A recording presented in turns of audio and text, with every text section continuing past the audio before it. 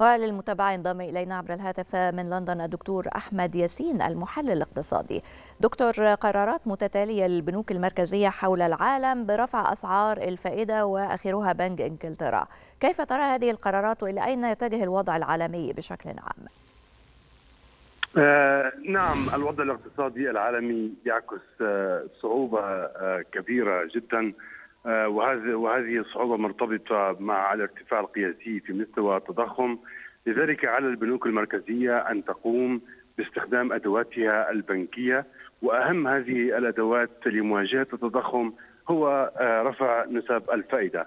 وطالما أن الاحتياطي الفدرالي الأمريكي قرر أو اتخذ نهجا قاسيا في في اعتماد هذه الأداة البنكية لرفع نسب الفائدة ترى البنوك المركزية حول العالم بأنها يجب أن تفعل نفس النهج.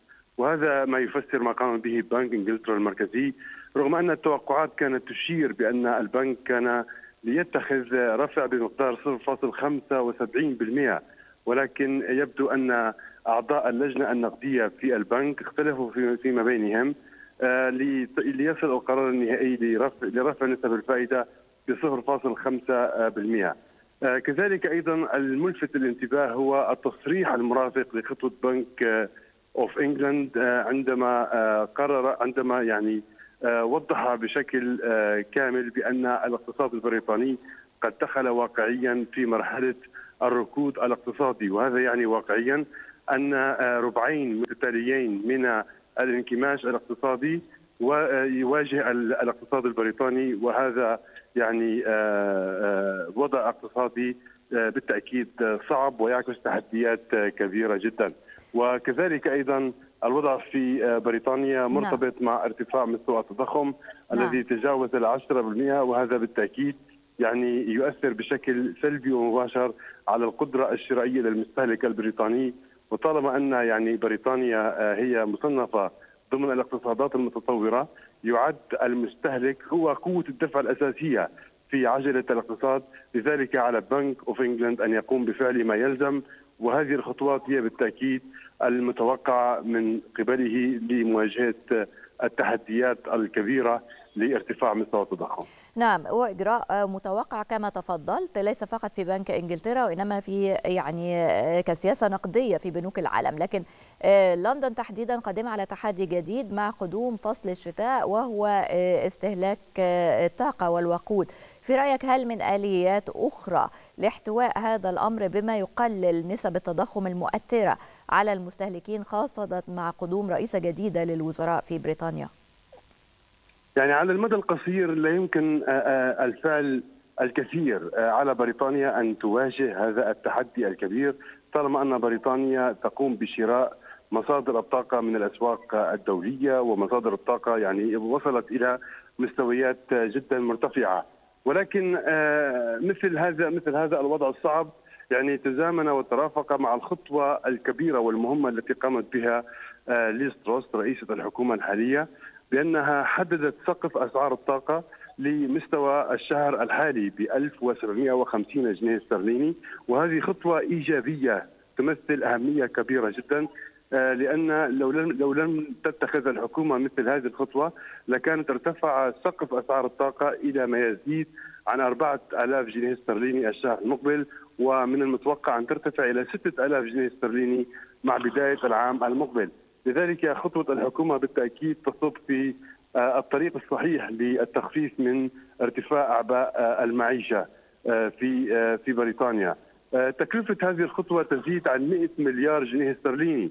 وطالما أن هذه التكلفة هي كبيرة جدا يعني بدأت الأصوات تتعالى من أين سوف توفر الحكومة هذا المبلغ الكبير؟ بالتأكيد على المدى البعيد دافعي الضرائب. سوف يقومون بتمويل هذه التكلفة الكبيرة نعم. كذلك أيضا أقدمت الحكومة البريطانية بخطوة يعني أثارت الكثير من التساؤلات المرتبطة بفراكينج أو استخراج الغاز الطبيعي كاسوة بما يقوم به الشركات الأمريكية في الولايات المتحدة الأمريكية أو ما يعرف بشيل اويل مثل هذه الخطوة يعني أثارت حفيظة حزب الخضر وكذلك أيضا المؤسسات الأخرى الداعمة للبيئة لأن هذه الخطوة يمكن أن يحدث عنها هزات أرضية وكذلك أيضا يعني خلل بيئي متوقع. طيب هذا الخلل البيئي إذا لم تجد أوروبا لا نتحدث فقط عن بريطانيا لم تجد غيره بديل في رأيك هل يمكن أن يعني تتراجع أكثر من خطوة ما يحمله العالم الآن من أمال لمعالجة كارثة التغيرات المناخية؟ يعني مثل هذه الخطوة كما يقول الإنجليز نحن ننتظر لنرى لأن قبل حوالي خمس سنوات قامت الحكومة البريطانية حينها بتجارب للفراكينج في منطقة بلاكبول وحدث عن تلك الخطوة يعني هزة أرضية طفيفة لذلك المؤسسات الداعمة للبيئة مباشرة ذكرت الحكومة الحالية بما شهدته بريطانيا قبل حوالي خمس سنوات. ولكن ليستروس أكدت بأنها يعني تطبق النتائج العلمية للبحوث التي تم إجراؤها مؤخرا. كذلك أيضا تطبيق التجربة الأمريكية التي تعد التجربة التجربة الناجحة إلى الآن حول العالم. وطالما أن يعني مثل هذه التجربة في حال نجاحها سوف تؤمن كميات كبيرة جدا من الغاز الطبيعي إلى السوق الداخلية البريطانية وحينها يمكن أن تكون التجربة البريطانية في حال نجحت يعني يمكن أن تحذو باقي الدول الأوروبية حذو بريطانيا في استخدام تقنية الفراكينج أو الشيل أويل. وبالتاكيد قطاع الطاقة الأوروبي سوف ينتقل إلى يعني مرحلة من الأمان والاستقرار بعيدا عن الاعتماد عن الغاز الروسي. طيب معنى ذلك دكتور أحمد أنك تتوقع أن بريطانيا بما أنها الآن خارج التكتل الأوروبي مع هذه الأزمة ستمضي لندن في خطواتها والجانب الأوروبي سيمضي أيضا في خطواته كتكتل كمحاولة لمعالجة تداعيات هذه الأزمة الاقتصادية. هذا سؤال واقعي ووجيه أشكرك لهذا السؤال، نعم يعني هذا آه هذا الجانب أو الخطوة التي اتخذتها الحكومة البريطانية تشير إلى الفوائد الكبيرة التي تنتظر بريطانيا بعد خروجها من الاتحاد الأوروبي، الاتحاد الأوروبي هو تكتل كبير جدا يجمع 26 بلدا مختلف المعالم اقتصاديا وسياسيا وحتى اجتماعيا، لذلك اتخاذ مثل هذه الخطوات والقرارات صعبة جدا وبعيدة المنال بالنسبة للاتحاد الأوروبي كتكتل.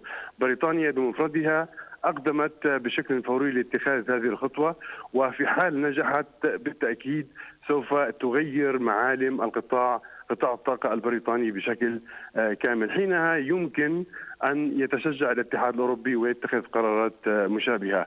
لأن هناك تحدي كبير جدا أمام القارة الأوروبية لتأمين مصادر الطاقة بعيدا عن الغاز الطبيعي الروسي. نعم. ومثل هذا التحدي يعني بات واقعا يجب اتخاذ الخطوات والقرارات اللازمة لتأمينه.